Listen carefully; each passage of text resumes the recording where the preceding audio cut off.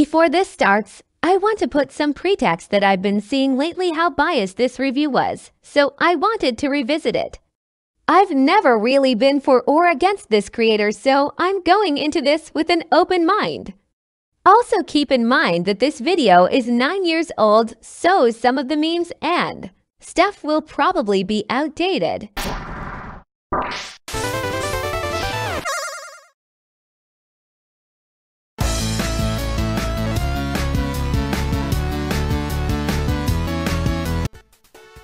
Sonic Adventure 2 is one of the few Sonic games that everyone remembers fondly. Okay, right off the bat, who the fuck is everyone? Also, that is not the impression I have from general audiences. And by general audiences, I mean all the people on Twitter who flip flop on every topic you could imagine constantly. Also, I don't remember being very fond of this game, but that's because I tortured myself by getting all of the S rank emblems in this game. Obviously, it came out on the Dreamcast first, but I personally really didn't start playing it until it came out on the GameCube. Just a quick note here the GameCube version is a port that launched six months after the release of the original Dreamcast game. They added bonus stages, improvements to the multiplayer, an expanded story, improved lighting, and upscaled graphics, along with higher poly models of the characters also runs at 60 FPS instead of the 30 that the Dreamcast version ran on, and an opening cinematic before the title screen was added as well. This is considered to be like one of the few really good 3D Sonic games. I don't know how true this stance is, since Sonic Unleashed came out in 2008 and Generations came out in 2011. But if he means way back when the only 3D Sonic games were the two adventure games, 3D Blast and Heroes that I guessed who was considered the best. I can't say for sure though. Also, I prefer Sonic Adventure 1 over 2, but I digress. This became no more apparent than when I did a review on Sonic Boom. I guess I was correct in my assumption that he glossed over Unleashed Colors and Generations. I like when I'm doing these reactions and the people I'm reacting to. Prove me right five seconds later. The last good Sonic game was Sonic Adventure 2. Sonic Adventure 2 is good. I love Sonic, but this game is bullshit out of 10. Just make something similar to Sonic Adventure. They should have just made a better game like Sonic Adventure 3. I told them to make Sonic Adventure 3 and they didn't. We need to go back to the Sonic Adventure style and have a Sonic Adventure 3. We need another game like Sonic Adventure. We need Sonic Adventure 3. If we look up reviews from Metacritic, Sonic and All Stars Racing Transformed is the highest rated 3D Sonic with a critic score of 80 to and a user score of 8.4, followed by Sonic Colors. A small sample size of your own comment section doesn't really prove anything. Also, where were these comments even pulled from? It seems a little disingenuous. I really remember liking Sonic Adventure 2, and it's been so long since I played this, I really wanted to go back and see exactly why it is that we all like this game so very, very much. The biggest draw to Adventure 2 is the second Dark Story campaign mode, but we're gonna go through this in order and start with the hero side. It starts off with a gun helicopter transporting a prisoner, who happens to be Sonic the Hedgehog. He somehow escapes and, according to the pilot, kills everyone on board.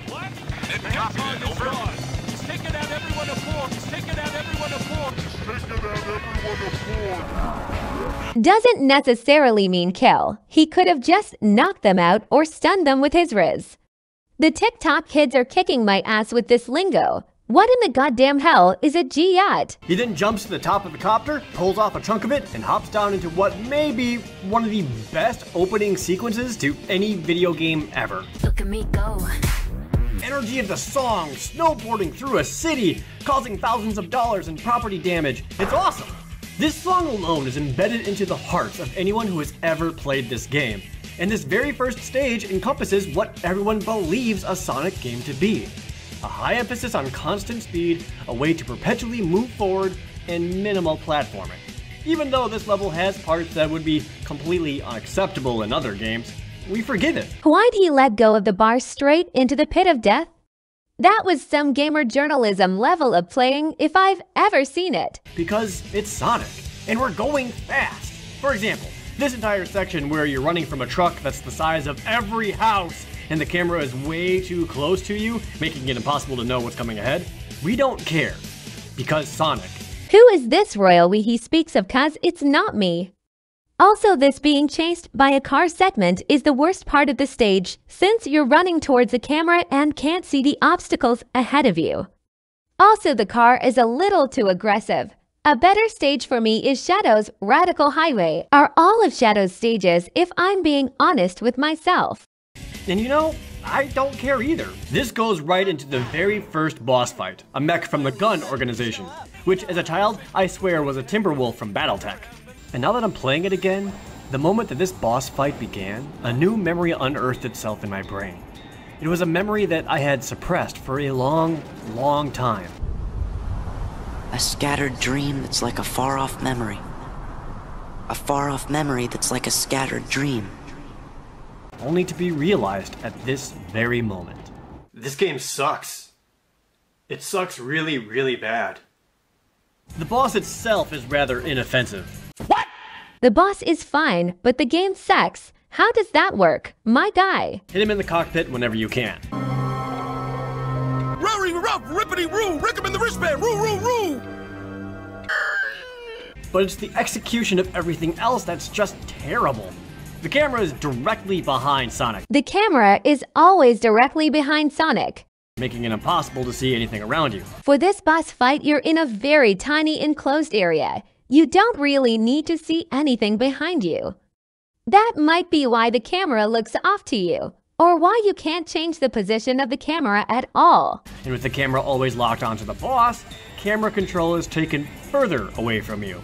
You don't have camera control at all in this boss fight. They didn't design it with a lot of space in mind. Again, you're in a really tiny enclosed space. I think the developers just expected players to be able to beat this easily and not think twice about it. And the arena is designed against the player. No, not really, or I should ask how. This is not a hard fight at all. My guy. He's acting like he's playing Bloodborne or something. There are all these crates that you're supposed to stand on to hit your target, which is fine. But several of these crates are placed outside the playable arena, tricking players into thinking that they can go that way in the first place. I think that is just a level design aesthetic. You do not need to jump on the crates to be able to hit the boss. And the only thing conveying any kind of barrier is a curve that goes up to your ankles. That's what we call an invisible wall. I'm not gonna repeat myself three times. Any reasonable person would believe that they can go out further than the game allows them to. If you're hitting an invisible wall and cannot leave the area, and the camera is locked onto the enemy that is floating in a giant circle, why would you think you can leave the area? Have you ever played a video game before? Does this make the boss fight hard? No, he's easy as crap. Okay, then what are we doing here? But that doesn't mean it doesn't have problems that should be ignored. I'd say a bigger problem with this fight is the boss's hitbox being small, but with the way he beat it, it's clearly not a problem. The fixed camera isn't great, but that was more an issue with the stage itself since the area you're fighting in is also small. The stage should be bigger, and they fixed that with Shadow's version of this fight. Maybe the developers didn't want to put in a lot of resources for a throwaway easy fight. And with the robot defeated, the pivotal moment. Sonic meets Keanu Reeves.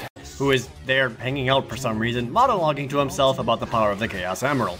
I didn't think I'd have to explain this, but he's there because Shadow's stage Radical Highway comes before this scene happens in the Hero campaign. Chronologically, the Dark Side campaign happens before the Hero's side does. Why? I don't know I didn't make the game. That's when Sonic has a sudden realization. That's stupid. I mean, really? Does anyone actually think they even look remotely alike?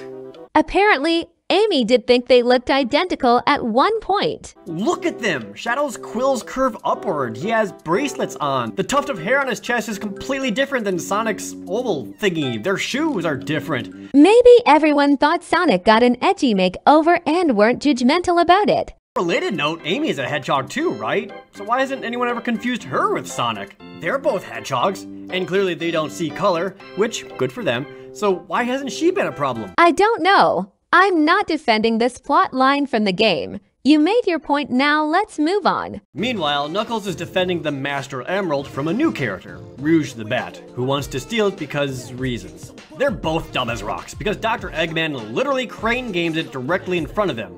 But Knuckles leaps up and, I guess, punches it or something? Yes and no. He actually explains in-game in this very cutscene that he shattered it on purpose so that Eggman couldn't steal it, and that he could very easily locate its pieces and reform it which to him is better than it being stolen and used for Eggman's scheme. The camera cuts to just a beat after whatever it was that Knuckles did and it shatters, setting up Knuckles' stages, which involves finding three pieces of the Master Emerald in each stage. And nobody likes these. I don't like when he says nobody likes these or everyone loved this. I think he should speak for himself. I'd also argue that Tails stages are the worst stages in the game. I'm not saying Knuckles stages don't have their share of frustration, especially with the radar that only works for one emerald in sequential order. But this royal we, they, nobody speak is weird coming from a subjective review. Basically, it's a crapshoot every time you play the stage.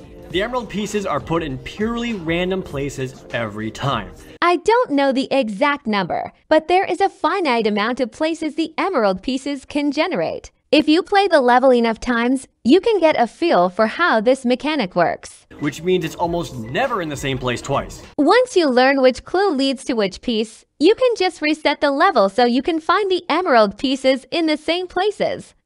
That's really the strategy for getting the good ranks like I said earlier. However, this is not applicable to the hard challenge in each of these levels because those are based on time and have only one set of locations for each emerald piece. Your only clue is this radar at the bottom, which begins changing colors letting you know how close you are to it. Well, no, they do give you actual hints in the levels as well. You're literally standing right next to one. Here are the many problems with the knuckle stages. The radar, for one. It only works on the first piece at a time. It's annoying, sure. But they may have done that because in the first Sonic adventure, the radar went off for all of the emerald pieces at the same time, and it was a headache. It might have play tested better to do one at a time. Which means even if you're directly on top of another one, it won't signal and you can completely miss it. I'm not sure how valid this is, but apparently you have to find an emerald piece so that the next one spawns. However, sometimes you can see pieces that have already spawned out of order, so I genuinely don't know. This needlessly extends the time it takes to complete these dreadful stages. You can use the hint boxes, but that lowers your score. This guy is just like Arin Hanson. I think just beating the level takes precedence over trying to get the best rank. Especially if it's your first time playing the level. Worst case scenario, you can just look up where the pieces are on Google or GameFAQs. And if you want to A rank every stage, you can't use them. You can. As long as you find the pieces fast enough, you can use the hints. If anything, the hints are going to signify which generated locations spawn so you can use at least one to signify which pieces you have to find and go from there. Again, that's the strategy for the better ranks is just learning where each piece spawns because the hints for where each piece are is always going to be the same. Trust me, I've gotten the 180 emblems. I know a thing or two about this LOL. And combined with the fact that the emeralds are in completely random places every time, speedrunning these areas is impossible and relies solely on luck. If it's impossible, then how are there people who can do it without luck? There is a finite amount of places where each piece of the Master Emerald can be hidden. Like I said before, the clues will always be the same for where the pieces are hidden. I'm not gonna keep repeating myself. And if you die, the emeralds move locations again, making all previous hints worthless. Right, because it resets the level. I mean, you weren't gonna find the emerald piece anyway, so you may as well look for a new one. You know how people hate it when everything slows down in a Sonic game? That is literally just Arin Hanson. He is the only person I've ever heard make that complaint. Imagine everything slowing down for 5 to 10 minutes at a time for an entire stage. The point of the stage is to find a piece of an emerald as fast as you can. You're not exactly going at a snail's pace, you have to beat the level fairly quickly to get a good rank on it. The pacing of the game may feel slowed down since you do get stuck on these levels, but once you get the hang of them, they're not that bad. Well Rouge stages aren't. Knuckles are all way too big for their own good. Does he talk about how huge Knuckles stages are, or am I getting ahead of myself?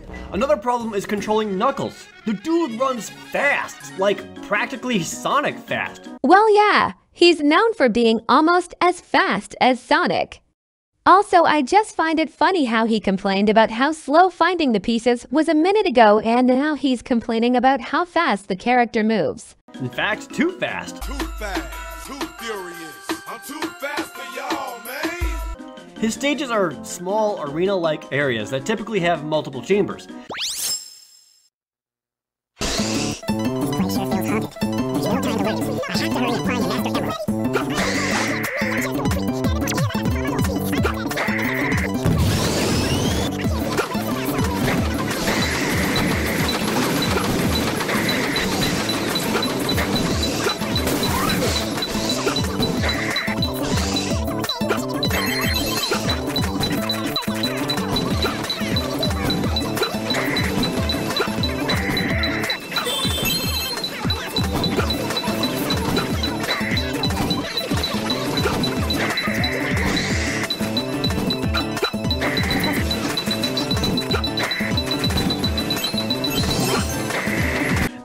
Give much room to run around. How can you say that when you're showing footage of you, as Knuckles, running around?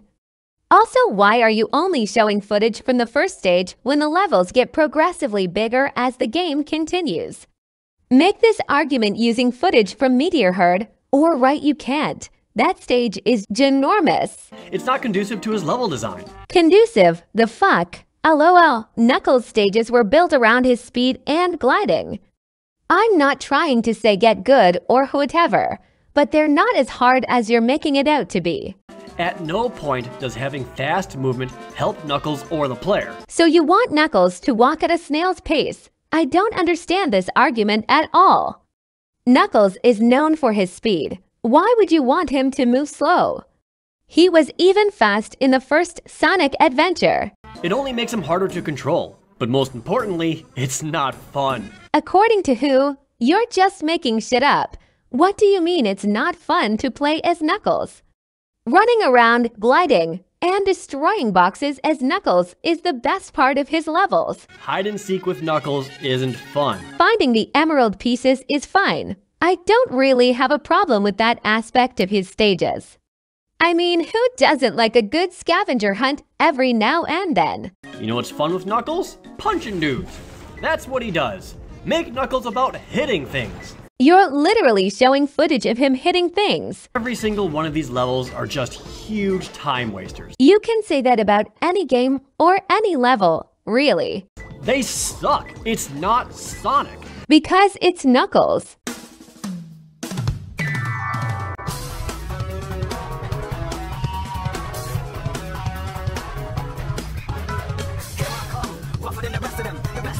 tougher than you can call me Knuckles. Unlike Sonic, I don't chuckle.